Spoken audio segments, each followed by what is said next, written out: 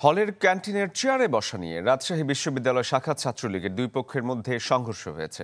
Police জানায়, গতকাল মতিহার হলের ক্যান্টিনে চেয়ারে বসা নিয়ে রাষ্ট্রবিজ্ঞান বিভাগের শিক্ষার্থী শান্ত ও ফাইন্যান্স বিভাগের শিক্ষার্থী জাহিদের সাথে কথা কাটাকাটি হয়। এরই জের ধরে বিকেলে দুই পক্ষের মধ্যে ধাওয়া পাল্টা ধাওয়া হয়। আহত হন ছাত্রলীগের কেন্দ্রীয় কমিটির সাবেক কার্যনির্বাহী সদস্য বাকি। পরে প্রক্টোরিয়াল বডির সদস্যরা এসে পরিস্থিতি নিয়ন্ত্রণে আনে।